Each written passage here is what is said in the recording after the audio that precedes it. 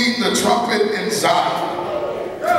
Sound an alarm in my holy mountain. Let all the inhabitants of the land tremble.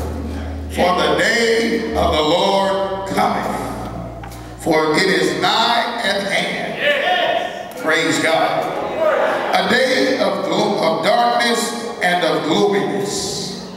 A day of clouds and of thick darkness as the morning spread upon the mountains. A great people and a strong. There have not been ever the like, neither shall be any more after it, even to the years of many generations. A fire devoureth before them, and behind them a flame burneth. Wow. The land is as the Garden of Eden before them, and behind them a desolate wilderness. Amen. Behind them a desolate wilderness. You're not looking forward to a wilderness. No wilderness in front of you. The wilderness is behind you. Yea, and nothing shall escape them. The appearance of them is as the appearance of horses, and his horsemen, so shall they run. Father, we thank you for your word. Ask you to bless your people. Mighty God, bless, Lord, this message tonight. And ask you to strengthen us, Lord. Help us to receive it and to walk in. In Jesus' name, amen. God bless you. Be seated. Put your Bible on your lap. Give the Lord a hand. Have a prayer.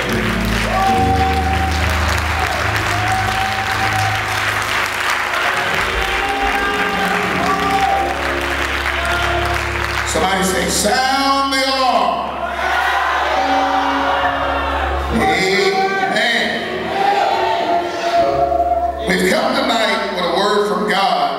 encourage the church. Amen.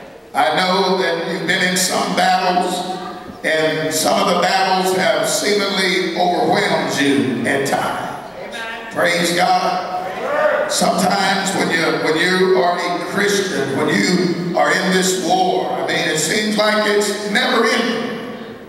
And you win some, and you win some. That's the way life goes as a Christian. You win some, and you win some. Praise God. Some of y'all think I got it wrong, didn't I? Amen. That's the way it is. Some of them can overwhelm you, but you always come out good, better, stronger, swifter, wiser. Amen. Praise God. David said, when I'm overwhelmed, lead me to the rock that is higher than I am. When you're overwhelmed by things that will come up in your life, there is a rock called Christ Jesus. Jesus Christ. That we can be led to. And he'll always put you back on top again. Amen. Jesus will always put you back on top again. Amen. He'll always pick you up, clean you up, and put you back on top again. Amen. Now, with everything that's going on, we can do all the declaring, and that's what everybody's doing these days, declaring. Nothing wrong with declaring. We're supposed to declare. We're supposed to decree. Amen. And we can declare everything that we come up with. If we forget Jesus, then we are left with nothing. Amen.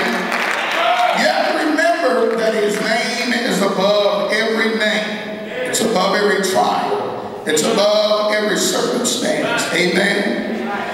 Jesus and miracles go hand in hand. You cannot separate them. Where Jesus is, miracles happen. For miracles are happening, that's where Jesus is. Amen. You can never separate miracles and Jesus. Jesus and miracles.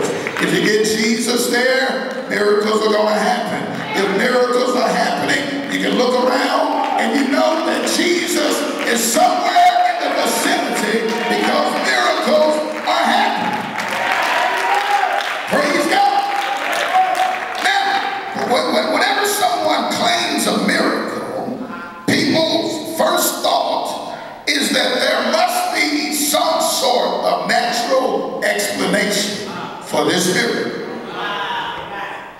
That somebody jump up and testify, you know, boy, you know, my shoulder was out of socket. And, and somebody just came by and laid hands on me, and all of a sudden my shoulder's back in socket.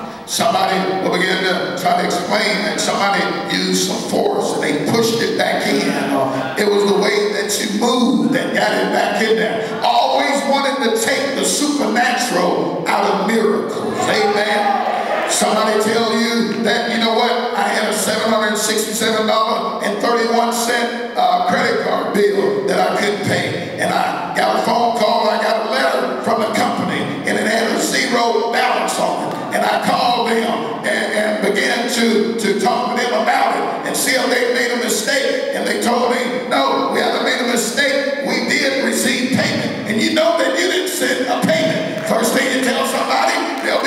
to see naturally how that could have happened rather than celebrating the supernatural intervention of Almighty God in it. Amen. The Gospels, Matthew, Mark, Luke, and John, they, they tell us of Jesus' resurrection.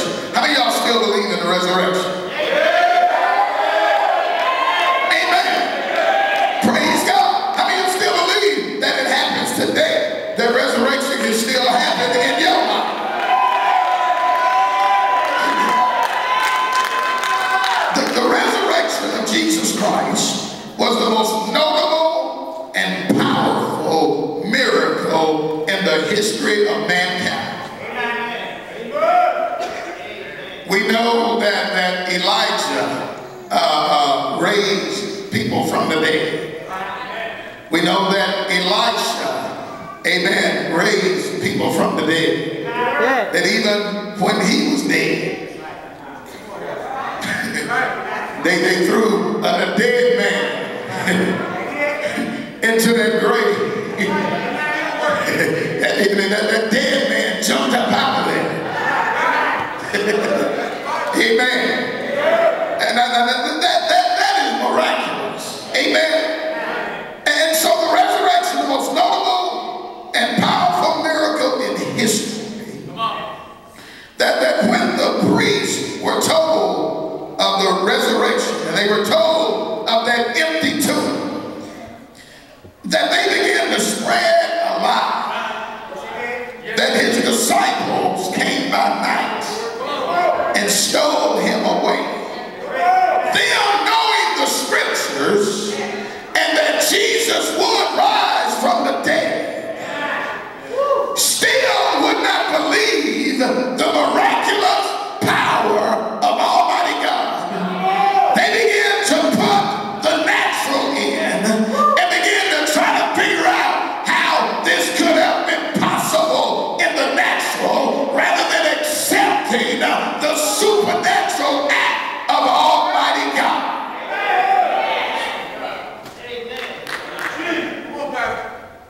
said somebody stole the body. A natural explanation.